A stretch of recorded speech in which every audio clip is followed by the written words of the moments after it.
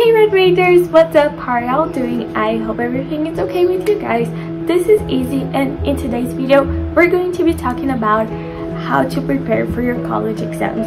I know your first midterms are coming up, so I know it can be scary. It's the first time you guys are in college, it's the first time you're having this kind of college exams and even if it's not your first time, it's also really useful to always have some tips on how to prepare for those exams. So if you want to ace your exams and if you want to see some really cool tips on studying for your college exams, keep on watching.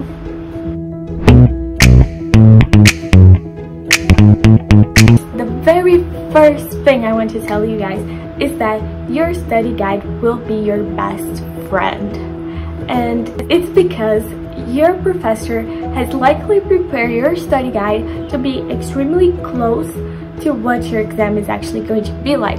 In your study guide, it will highlight for you guys exactly what you have to study, what are the topics that are going to be covered in those exams, what are the chapters if you have a book, um, what were the classes, everything that will be on your exam is probably on your study guide. And I mean it when I say it's your best friend because when you have your study guide, you can study topic by topic what's actually going to be on the exam and you won't lose time and like brain memory trying to cram a bunch of stuff that is not going to be on your exam. Like, of course you have to understand everything that's being said in class, but trust me, if something is not going to be on your exam, you shouldn't be wasting time with it when you're studying for it. All right, and then my next tip would be kind of take advantage of the open door policy that we have here at Texas Tech and make sure you talk to your professors during office hours. So this one, I know it can be kind of awkward, especially like going into it. You don't know your professor. You don't want just want to like pull up and be like, hey, what's going to be on the exam? And you know, professors are like pretty busy, so you don't want to overwhelm them. But going to professors' office hours to really like talk about uh, any homework problems that you have or anything that you're confused on will definitely help you in the future because it helps build the connection between you and the professor and it also clears any questions that you may have that will be on an exam. So another thing it sort of relates to this video on preparing for exams, but after your exam, if you still have questions about the exam and you get the paper back and there's just some things that maybe you don't agree with or maybe you didn't understand, go to office hours and actually talk with them because sometimes they can give you points back. That, uh, no one talks about it, but sometimes professors give points back if you go back and talk to them about your test.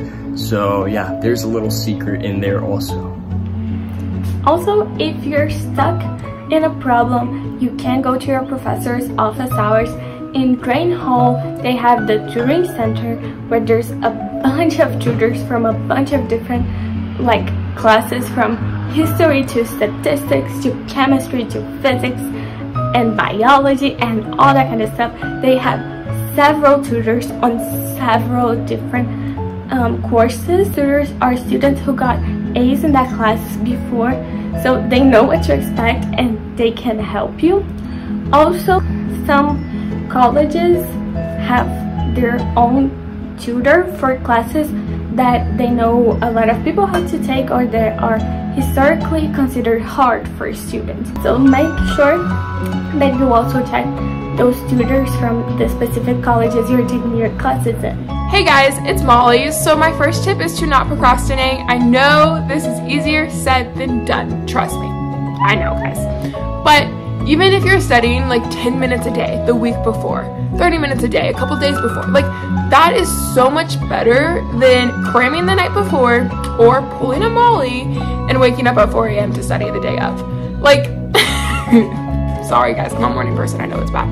But it is not worth cramming. Like, it is better just to study, you know, a couple days before, a couple weeks before, not a couple weeks, but like a week before because you'll do so much better when retaining the information and just like just going over it. Not memorizing it just reading it you know making sure it makes sense in your brain.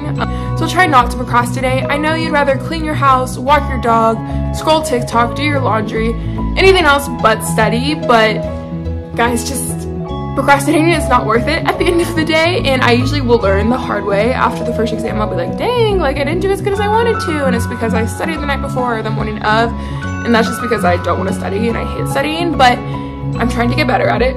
It's taken me three years but try not to procrastinate. Tip to get ready for an exam would definitely have to be go to SI sessions. So a lot of people don't know this um, going into college is that these SI instructors actually um, work with your professors. So they have an idea of what could be on the exams, how it's going to be structured. So getting help from them is definitely going to help you out a ton. So I definitely recommend checking that out. Okay, so another really, really important rule for when you're studying for exams is to see if your professor can give you access to old exams. This is like, for me, the best way you can study for an exam. Because if you see past examples of exams, you might like have kind of like a knowing of what's going to be on the exam and not even what's going to be on the exam but how your professor will like actually test you on those subjects because when you see past exams, you might see like a pattern of questions, how the professor formulates the questions, how you're supposed to answer those questions. Number two is to be more lenient towards yourself, guys. Um, this is your first exam in this class, so you don't know what the questions are like. You don't know what the teachers like testing, like how they for format the test and stuff. So be more lenient. Maybe you strive to get an A and maybe you get a B. Like it is okay for that. And you can go talk to your teacher after the test, go over the test, review it, ask questions.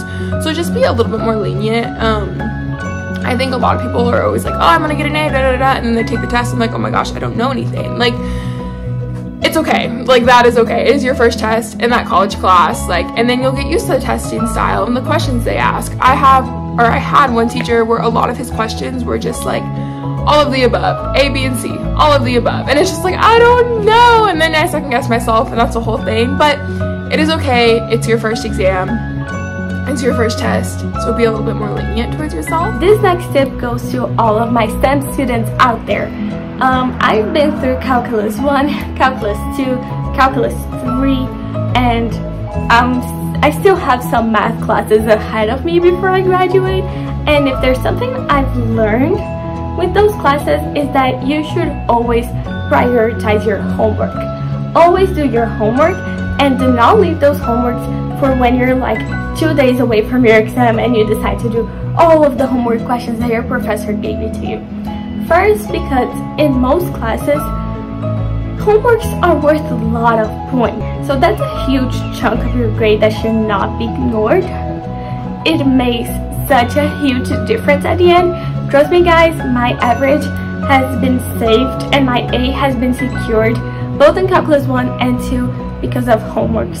So do your homework and besides getting that grade, when you do your homework, you also is already studying for the exam because your professors will select the questions that they want you to have on your homework. And if your professor has selected those questions, he wants you to practice those, there's a very high chance that those questions will be on your exam. Of course, talk to them, be like, hey, is your homework similar to your exam? But at least you're practicing and you're making sure that you know what's in them, like you know how to solve those problems.